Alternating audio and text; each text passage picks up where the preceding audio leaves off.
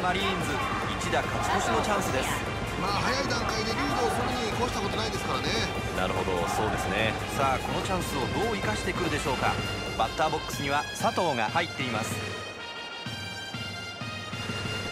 いきなり牽制。二塁タッチもセーフ。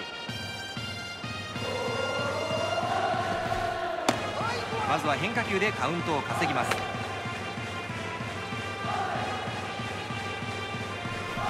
もう1球牽制球タッチもセーフ。2球目は何で来るか。低めいいところに決まった。すぐに追い込みました。いい当たり。大きな打球だ。外野へまだ伸びている。右中間深々と破っていった。セカンドランナーホームイン。バッターランナーは二塁到達。マリーンズ勝ち越しました。2対1になりました。なおもチャンスが続きます。さあ勝ち越したシーンですがもう一度ご覧いただきましょう。この序盤リードを取っています。この勢いで攻めていけるんでしょうか。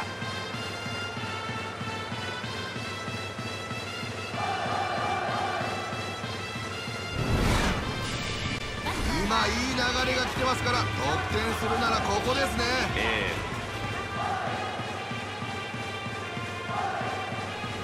え。いきなり牽制。二塁はセーフまず何を投げてくるか送ってくるでしょうか。バントの構えを見せました。ランナー飛び出している。さあ一塁ランナーを返して点差を広げたい場面です。バッターは佐藤。まあここは送りバントでいいかもしれませんよね。はい。さあここは送ってくるんでしょうか小宮山さんバントを阻止するにはどういった配球が有効でしょうか？バッターからするとインコースの高めに速いボールっていうのは一番やりにくいということなのでそこにコントロールできるかですかね。うんなるほど。セーフ。高めの球ストライクになります。147キロ。まあクイックが速いピッチャーですからランナーは走りにくいと思いますね。なるほど。引っ張った。これは手を伸ばして取ったタンドのファンからも歓声が届きます。ここはファインプレーに阻まれてしまいました。里崎さん今のプレーご覧になっていかがですか？このプレーは大きいですよね。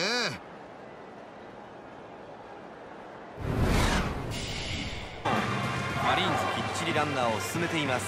さあマリーンズ追加点のチャンスを迎えています。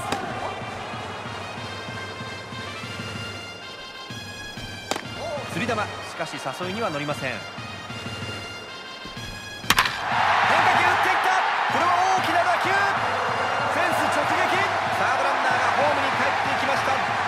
にボールが送られる。マリーンズ追加点。4対1リードを3点に広げました。ご覧いただきましょう。タイムリーが出て点差を広げます。試合はすでに中盤戦。ここで点差が開いています。